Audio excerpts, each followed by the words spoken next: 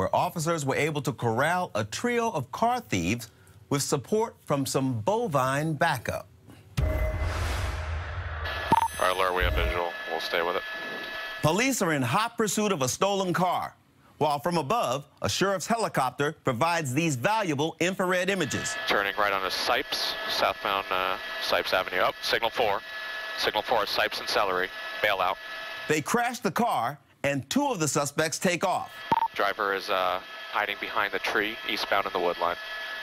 Keep coming. Unit that's uh, by the tree line is going to be off your left. Alert, we have another outstanding south of you guys. We're on her on uh, camera. All right, running southeastbound through the field. South and east of you, um, actually the large group of cows is following her for a good visual. Um, looks like they may attack her. Um, if you see the large group of cows, they're, they're literally following her and uh, chasing her.